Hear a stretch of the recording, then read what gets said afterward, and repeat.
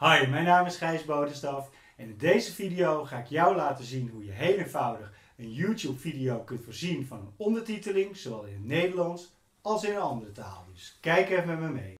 Als eerste ga je naar de rechterbovenhoek en klik je op de icoon. Je gaat naar YouTube instellingen. Vervolgens ga je naar de linkerkant naar videobeheer. En dan zoek je de betreffende video op waar je dus een closed caption of een ondertiteling wil maken. Je klikt op informatie en instellingen. Je gaat naar ondertiteling. En nou zie je dat al deze video in verschillende talen is ondertiteld. Stel dat je nog geen ondertiteling hebt, dan stel je wil je Nederlandse ondertiteling gaan vertalen in het Engels, dan ga je hem eerst downloaden. Je gaat vervolgens naar actie en dan ga je als eerste de extensie van SRT vervangen door TXT.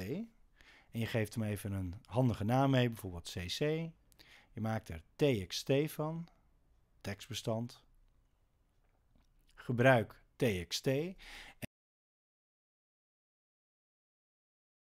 En dan zie je eigenlijk de ondertiteling met een tijdsnotatie. Stel nou dat je hem wil gaan vertalen in het Engels. Dan kan je dat vragen aan iemand die goed is in Engels. Of misschien kan je het zelf. Maar je kunt ook een hele handige site gebruiken die heet Fiverr.com. Dan ga je vervolgens naar de tab transcriptie.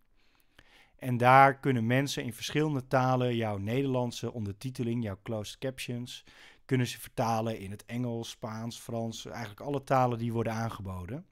Dat kost wel geld, maar niet zo heel veel, meestal tussen de 4 en 5 dollar.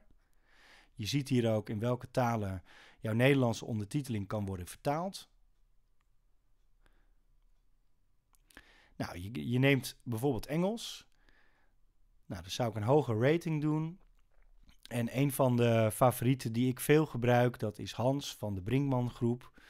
Perfecte jongen, levert altijd op tijd, altijd foutloos. En die kan in het uh, Nederlands en in het Engels vertalen. Je bestelt de vertaling.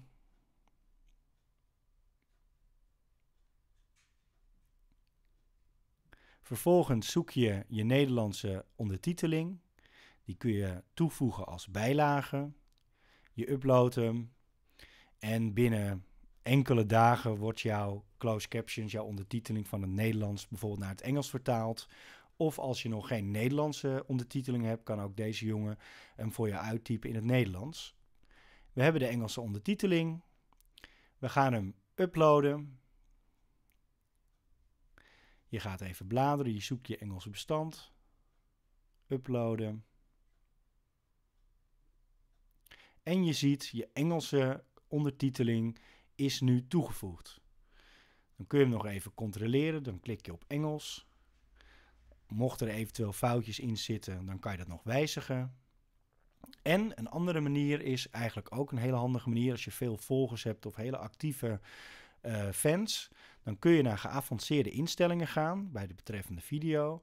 En dan kun je kijkers toestaan ondertitelingsbijdragen indienen. Dus andere YouTube-kijkers kunnen jou dan helpen met het vertalen van jouw ondertiteling in de taal die jij zou willen. Wat je ook zou kunnen doen, is iemand bijvoorbeeld een beheerder maken. Dus op het moment dat hij of zij dan een ondertiteling voor jou heeft gemaakt, dan kan hij helemaal zelfstandig inloggen. Je kunt hem verschillende taken meegeven, een manager of een communicatiebeheerder. Het verschil zit hem in dat de manager wat meer rechten heeft. Dus ik adviseer je altijd iemand manager te maken en die kan dan zelf de Nederlandse of Engelse ondertiteling toevoegen. Heb jij na het bekijken van deze video nog steeds een YouTube vraag? Stel je vraag even hieronder en ik ga je vraag beantwoorden. Vond je deze video nuttig? Geef ons even een like en abonneer je op dit kanaal. Bedankt voor het kijken en tot de volgende video.